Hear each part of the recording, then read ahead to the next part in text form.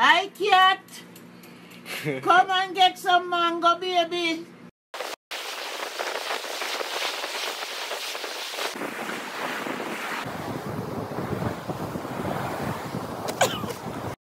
One, two, one, two, three.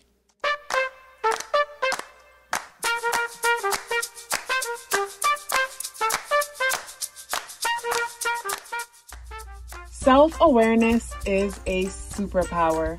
My name is Kathy LaDonna. Welcome to Soul In Vibration.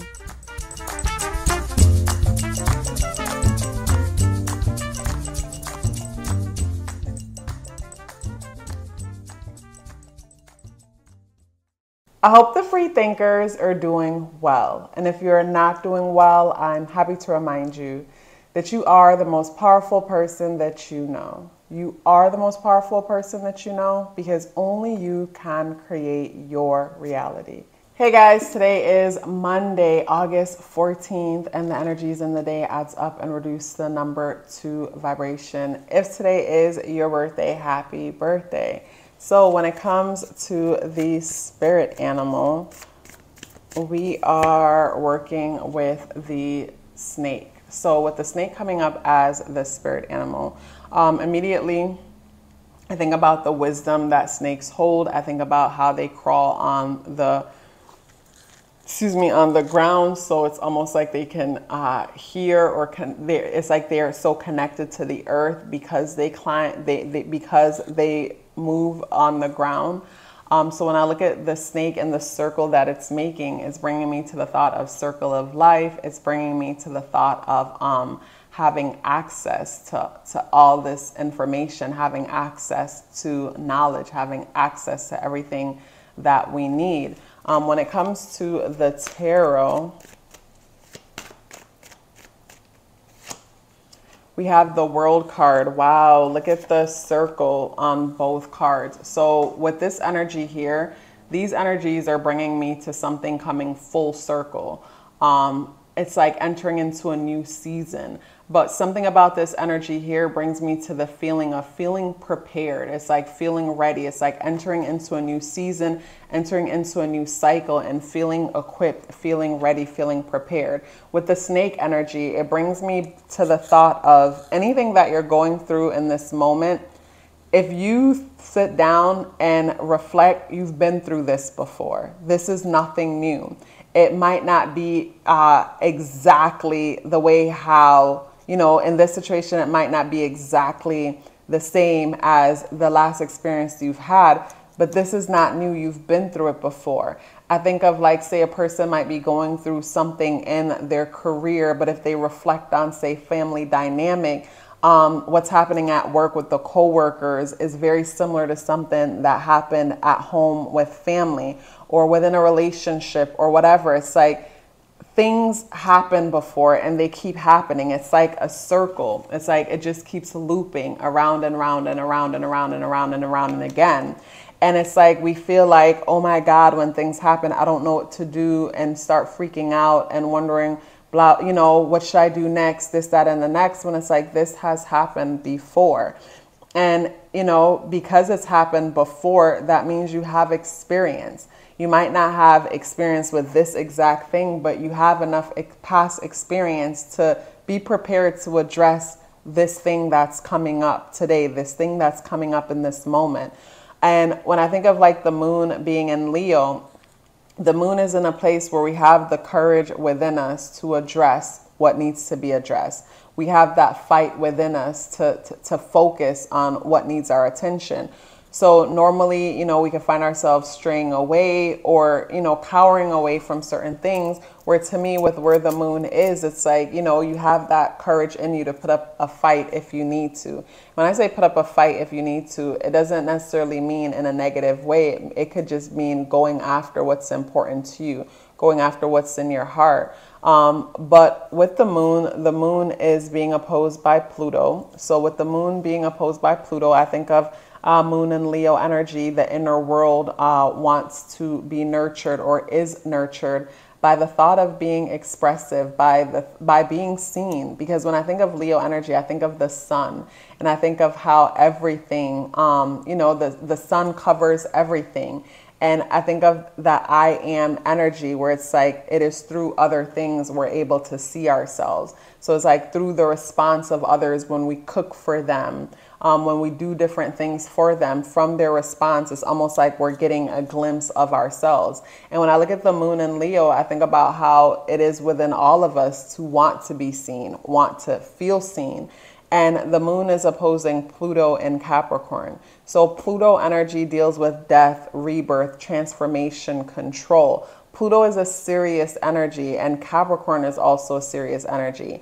And when I think about Leo, it's like, yes, Leo can get serious if it needs to, but for the most part, it's a vibrant, uh, it's a vibrant, youthful type of energy where Pluto, like Capricorn energy, is so serious. So when I think of the opposition, it brings me to the thought of needing to be serious, needing to take control, but then not even uh, with the moon and Leo energy, not even wanting to engage with anything that doesn't feel youthful and playful, but it brings me to coming to a common ground with things. So when it comes to say the energies in today, you know, the inner world, the moon is in a place where it doesn't want to focus on anything too serious or take itself too seriously. The moon is positively aspecting Neptune and Pisces.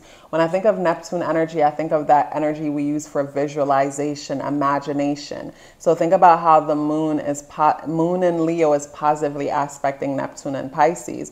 This is where we get into our get inside of ourselves and we visualize seeing ourselves in all kind of roles, doing all kind of things, and just childlike, playful, dreamy, fairy tale like even a little bit delusional and dangerous. Delusional and dangerous because with the positive aspect being made to Neptune, it's like I'm seeing myself in all kind of roles and I got the big courage from that Leo energy. So I'm seeing myself doing things that I probably can't do in this in this life. I probably can, but you know, I, I don't fully believe I could do it in this life, but within myself, I could do anything. So that's where the whole dangerous aspect of that comes in. But with the opposition between the moon and Pluto brings me to a common ground. It's like, you know, listening to that inner child, but at the same time getting out and adulting because it's necessary. And the more we put off and ignore certain things, the more of a problem um, that is built up around these things, and we got to face it at some point.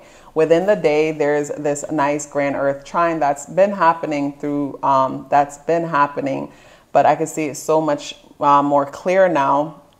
And with that earth trine, it just brings me to say, you know, searching for practical, familiar ways to live our lives. Practical, familiar ways to live our lives. Practical and familiar because we need security and stability. And of course, most of us will feel like our security and our stability has been threatened in 2023 as this is a seventh year. And the number seven is a spiritual introspective energy where everything feels like it has slowed down. And more than anything, we might want things to speed up. You know, we want to experience things, we want stimulation. And from the lack of stimulation, feels like everything is moving so slow or so still. And, you know, some of us want to go ahead and push things and make things happen. And I find when we push things and try to make it happen, um, sometimes we waste our energy and we make we waste a good thing. Like I think of like I've shared before, picking fruit before time because I don't want anybody else to get it. I want to get it, but because I picked it too early and I didn't set it properly, it spoiled. Or even if it ripe, it didn't ripe the way it would have ripe if I left it alone.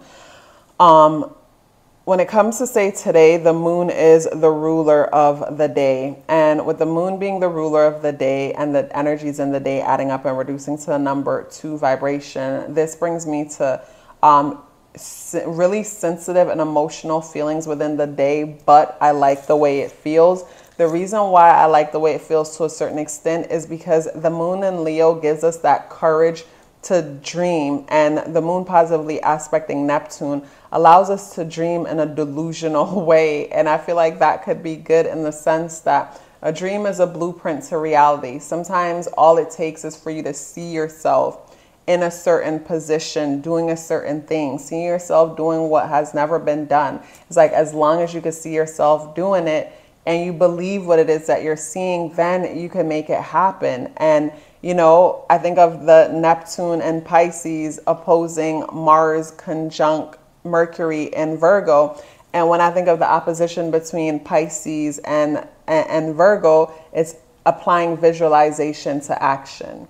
I think about uh, some of our ancestors who worked extremely hard and didn't have a lot to show for it. And I feel like that's because what was missing was that Neptune dream, that visualization, seeing ourselves in abundance along with the hard work that we're putting in. And from our visualization and being able to see ourselves abundantly, we might not even have to work as hard because I personally believe, you know, success, the ratio to success is 20, 80, 20, just like the ratio to weight loss. 80% of the weight loss comes from the foods that we eat, and 20% of the weight loss comes from the actual workout. I feel the same about success. 80% of our success comes from the mental foods that we're consuming and what's coming out of our mouth, which reflects our vibration on a whole and how we're creating. And then only 20% of our success comes from the physical labor that we do but you know based on the way we've been conditioned to see things that kind of keeps us trapped in the you know trapped like the hamster on the wheel going in circles. We're doing all this work and barely seeing efforts from it because you know we've been conditioned to expect that bare minimum from all that work. So it goes back to the importance of the mind and just balancing both energies visualization and work um, but yeah, today is Monday, Moon Day. And when it comes to Mondays, like especially say this Monday where the moon is in Leo, self care is important. But the kind of self care that you want to do today, you want to affirm to yourself today. You want to you want to affirm positive things to yourself today. You also want to reflect and visualize seeing yourself doing all the things you want to do and just like bask in that energy and follow up with positive aff- affirmations. Because for me, Monday is always a day for self care. And with the number two, the energy is adding up and reducing to the number two. I feel like, yeah, the energies are even more sensitive and call for even more nurturing. But Mondays are a day for self care. You know, most of us have to go off to work, we're busy doing things, so we don't get to stop and just tend to ourselves. But I find that days um, on certain Mondays when that call for self care, when I'm not able to do self care, I can find my, you know, that feeling when you get up and you're not ready to get up and you feel like you want to cry, but you got to keep moving. It's like I feel like those days can feel like that. With the snake energy and the world card coming out, it brings me to say entering into a new season, entering into a new cycle. It's like something about the moon and Leo energy um, and the moon and Leo energy, the nurturing, sensitive aspect to the day with the world card coming out and the snake, it brings me to entering into a new cycle. But I think of, say, entering into a new cycle, but the cycle um, where it's like, say, we're all entering into a new season, but we're experiencing it different based on our frequency and our vibration. So that's what I'm getting when it comes to the energies in today, where it's super important today to dive into that good feeling of the moon positively aspecting Neptune yes, the opposition between the moon and Pluto will feel a little bit annoying as, you know, it feels like career and ambition is calling and you don't know how to answer. And if you don't know how to answer, don't answer, but you want to take up and make the most of the that good that good visualizing emotional feeling that you know the moon positively aspecting neptune brings. I look at the day being the 14th the with the day being the 14th the number one is the self. It reflects new ideas new beginnings. The number four is structure it's discipline it's organization but one plus four is five. And it brings me to say how um, with the number five how the number five could bring this sudden and unexpected feel to the day, but I feel like that's a good thing. That's like the glitch in the matrix that lets in new and different ways of being or lets in opportunities or manifestations and things like that. But there's some kind of a glitch vibe to the day where meaning, you know, the day might feel like it's going one way and then all of a sudden it skips and things change a little bit. It's like there's this unpredictable feel to the day, but for the most part, it feels emotionally soothing. Um, it feels emotionally soothing, even though some of us could be experiencing the opposition between the moon and Pluto or the square between the sun conjunct Venus and Jupiter and Taurus. And again, when I look at the squares being made to the sun and the moon energy, um, both in Leo, it's that feeling of like life is not allowing me to be great. It's like it's not okay for me to be great, is what I get with those squares. It's like this is what I really want to do, but based on life, I need to do X, Y, Z. And I don't trust myself enough to go after what I want. So I feel burdened that I might have to do what the world wants me to do, even though I don't want to do what the world wants me to do. But I heard that I'll be safe if I do it that way. And it's come to a point where I'm even seeing how I would be safe if I do it that way. But again, you know, we're going to see what it is that we want to see, that we've been conditioned to see. Such a pleasure sharing this message with you. If you'd like to book a natal chart reading with me, or check out my exclusive contents only on Patreon. The links for that are in the description box below. Please let me know you're here with me by dropping me a orange heart in the comment box below. I would love to hear from you and look forward to seeing you tomorrow. Love yourself as if your life depended on it because it does. Take care of yourself and I look forward to seeing you in the next video.